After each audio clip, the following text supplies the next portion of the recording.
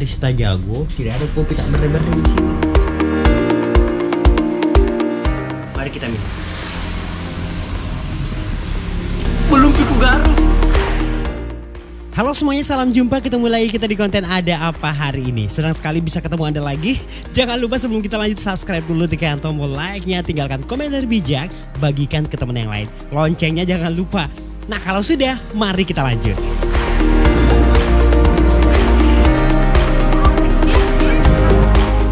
Ada apa hari ini? Ada apa hari ini? Ada apa hari ini?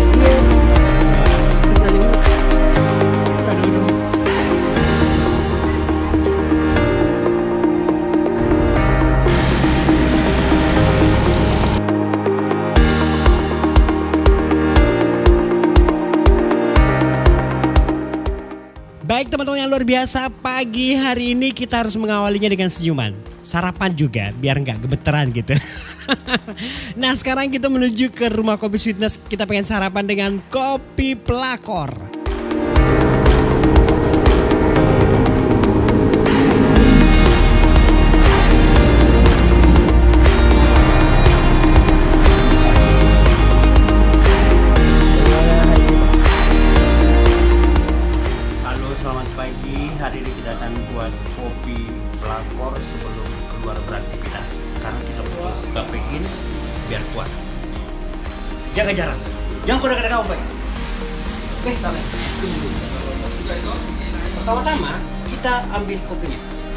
Dalam bahasa Inggrisnya dibeberek.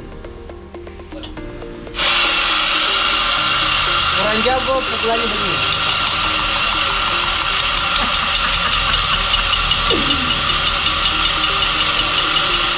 Kalau barista jago, tidak ada kopi tak bersih-bersih di sini. Tidak ada bersih. Jangan terlalu dekat kamera.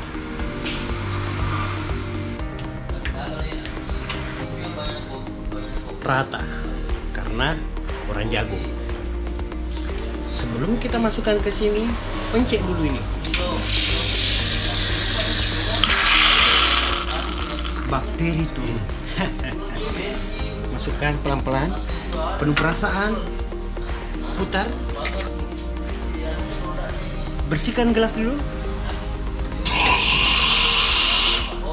tapi ingat jangan kau pakai gelas murah untuk semprot sini repak ih. Ini gelas mahal. Pencet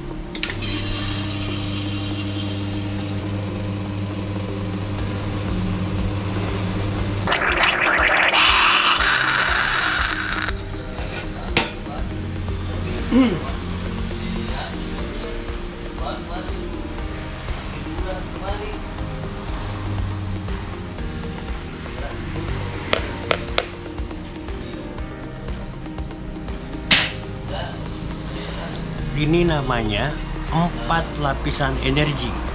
Dasarnya susu, barisan kedua susu campur kopi, barisan ketiga kopinya, barisan keempat kremanya.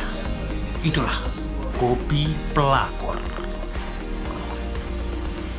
Mari kita minum. Belum piku garuh.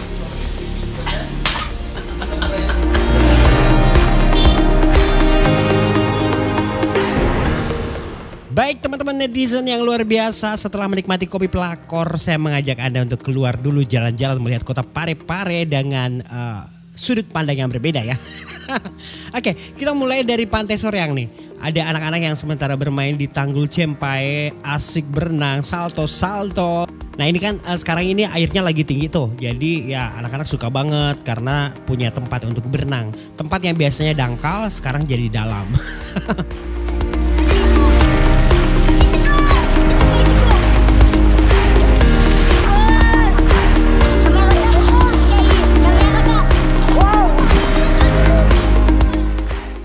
setelah melihat anak-anak berenang dengan riang gembira, hati senang walaupun tidak punya uang, kasihan. Kita menuju ke teras Empang.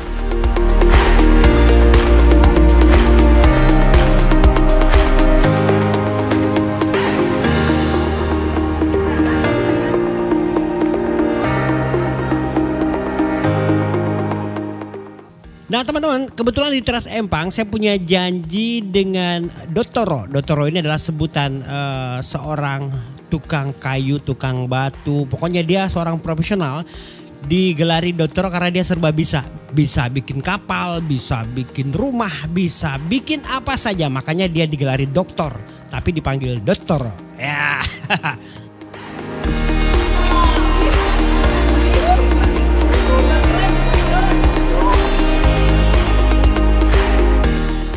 Nah di sini saya mencoba sampan buatan Dotoro untuk melihat ikan yang ada di kolam teras Empang. Wah luar biasa nih ikannya ya.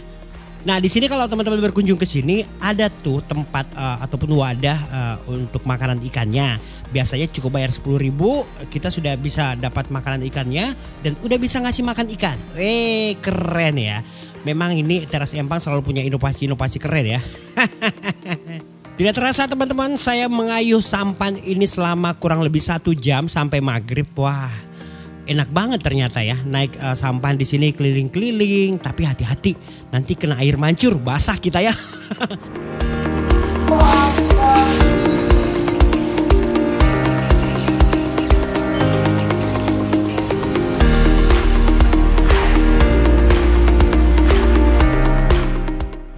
setelah malam tiba kita langsung naik ke daratan untuk jalan-jalan melihat teras empangnya di malam hari.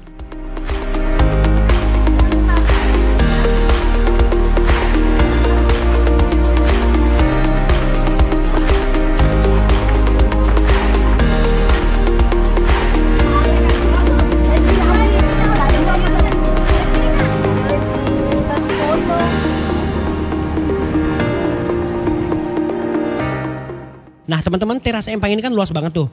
Jadi kita harus jalan-jalan. Capek sih jalan-jalannya.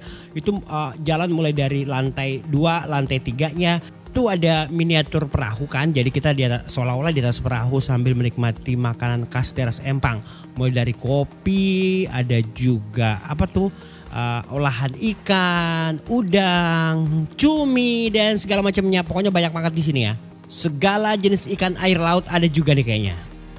Nah teman-teman direkomendasikan sih kalau misalnya nongkrong di sini tuh uh, waktunya yang tepat itu sore sore sampai malam. Itu enak banget ngelihat matahari terbenam, melihat lampu-lampu berwarna-warni. Oh pokoknya teras empang keren deh di sore hari ya. Ada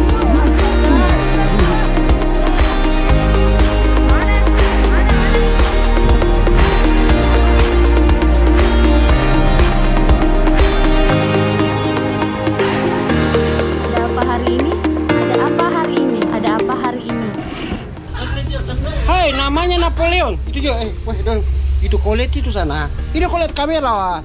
Wow, namanya Napoleon Bonaparte. Kau di sini dulu. Wow. Hei.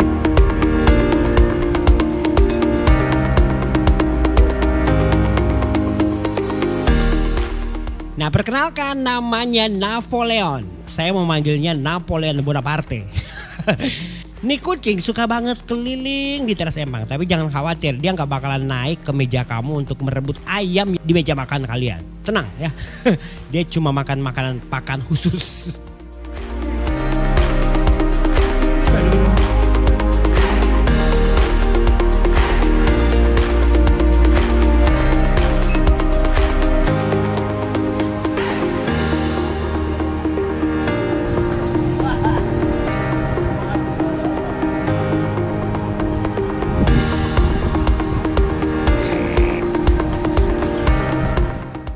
Jadi teman-teman malam ini kita ajak Napoleon untuk menikmati suasana teras empang juga sambil melihat siapa tahu sana sini ada kucing betina.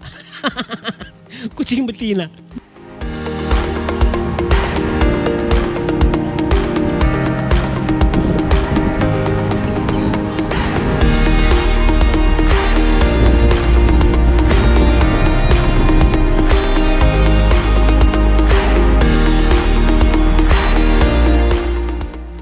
Baik, setelah menikmati suasana di teras Empang, selanjutnya kita bergeser karena kita bakal balik untuk ngedit semua gambar. Tapi kita mampir dulu di Patung Pemuda. Wah, ada yang berbeda nih sekarang di Patung Pemuda.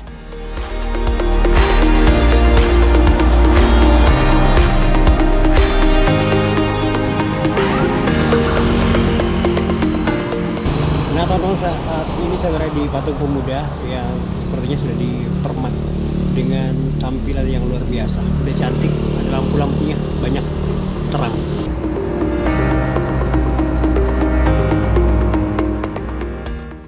Nah seperti ini nih penampakannya sekarang patung pemuda itu semakin cantik teman-teman. Ada air mancurnya, ada lampu warna-warninya, ada tempat untuk ngaso. Ah, ngaso tahu kan? Tempat duduk untuk beristirahat.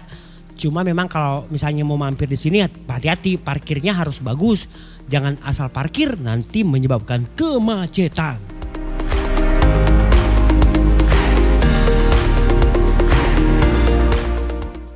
Nah sebenarnya pas kita datang air mancurnya udah mati nih. udah dimatiin air mancurnya. Waduh kasihan banget padahal kita pengen mandi-mandi di kolamnya. Uh, eh nggak boleh. Jangan mandi-mandi di kolam ini.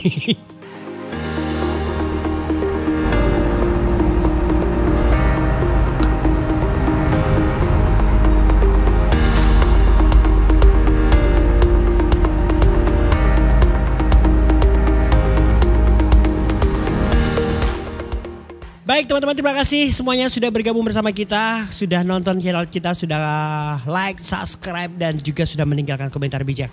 Jangan lupa tekan loncengnya ya, bagikan ke yang lain. Terima kasih dan salam jumpa.